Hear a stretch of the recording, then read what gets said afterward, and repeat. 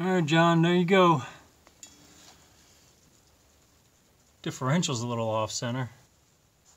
Here's the actual, if I put the camera right at the um, uh, the camera lens right in the middle of the crankshaft where the flex plate bolts to, that's the view. See how it's off, off center?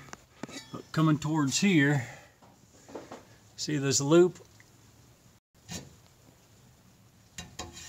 I was thinking about just putting a strap, you know, around uh, strap there, you know, around here. But that transmission is probably, it ends right here. So it might work, I don't know. Who knows? What do you think?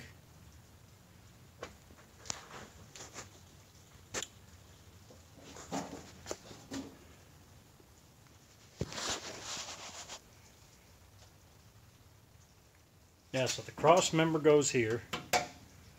So the tail shaft is probably here. And the loop is it's about a foot away. I don't know. What y'all think? But anyways, what do you think? Can I do it? Is it okay for the rules?